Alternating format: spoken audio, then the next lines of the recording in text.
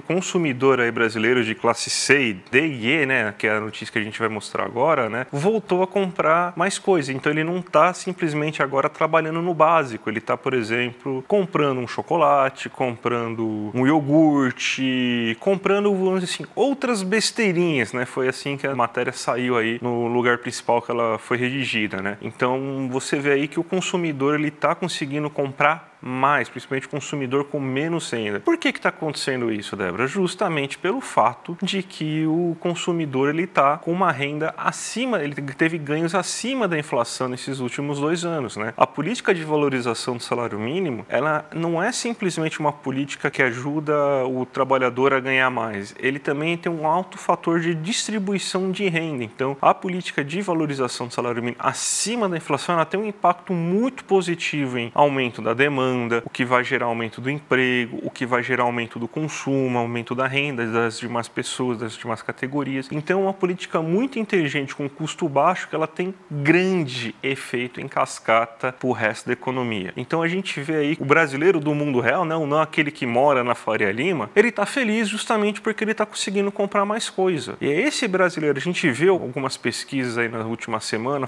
mostrando aí que a popularidade do governo Lula aumentou e aumentou justamente na questão econômica. O brasileiro ele não está enxergando, ele não, tá, ele não vê o risco fiscal. Ainda bem que o brasileiro não vê essa besteira chamada risco fiscal aí. O brasileiro ele, ele mede aí o como ele acredita que está a economia pelo que ele está sentindo no bolso. E no bolso está muito bom a questão econômica do brasileiro. Ele está com, ele tá aumentando sua renda mês após mês. O medo do desemprego está cada vez mais distante porque o desemprego está muito baixo e a inflação está tá bem controlada, mesmo com essa grita toda aí de que vai ter uma inflação completamente descontrolada, fora do alcance do Banco Central. A gente tem realmente uma inflação de alimentos que está prejudicando principalmente as pessoas mais pobres, mas mesmo assim elas tiveram recuperação aí da sua renda em nível real, então ela não sente tanto. Então, Débora, no mundo real fora da Faria Lima, o brasileiro está feliz, né?